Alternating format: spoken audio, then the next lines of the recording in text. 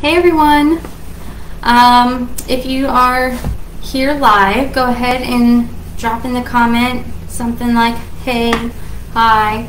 Um, but today we're going to talk about our cold brew coffee carafe.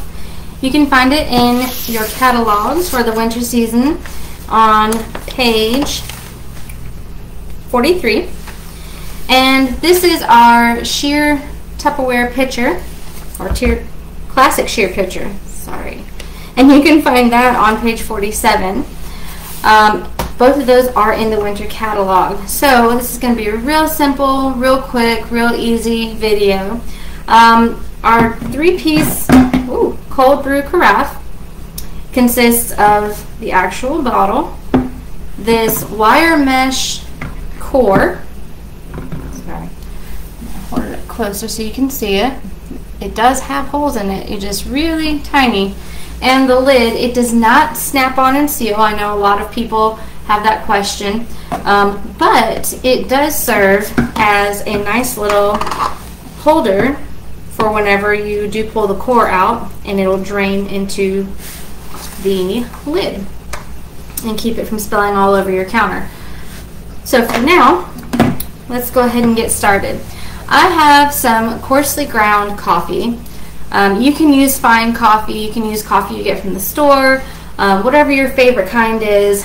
I just found that sometimes whenever I grind up my own whole beans, it doesn't seep through um, as much as regularly ground coffee does.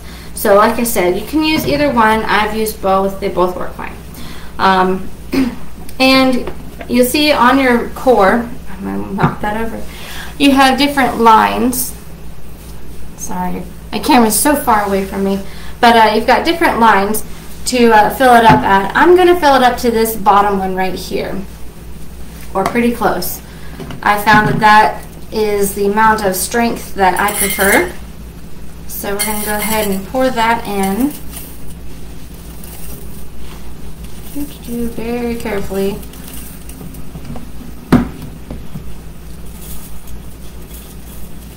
Should have got a funnel. That's okay.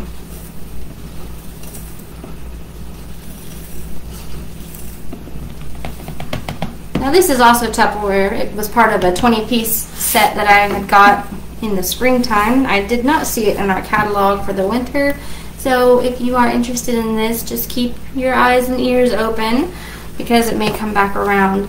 Um, so this is just water, plain tap water. And I'm going to pour this on top of the coffee now.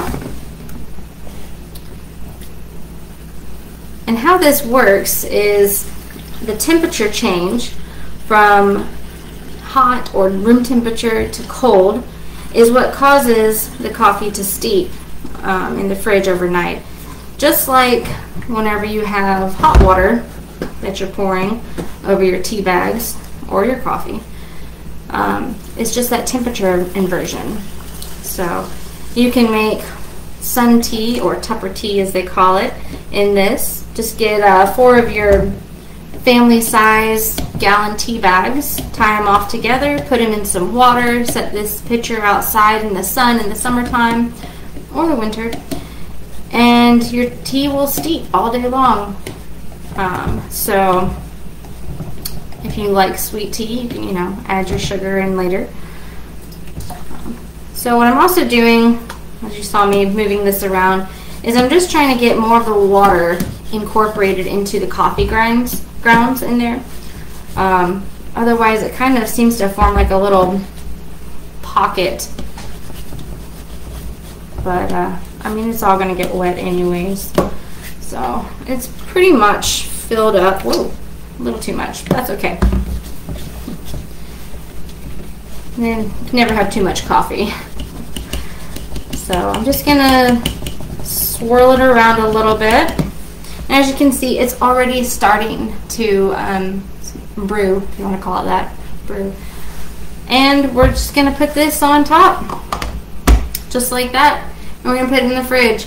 And then in a couple of days, we're to have another video. Um, it's actually going to be Saturday during the party. um, of the end result and I will show you what I do with my coffee.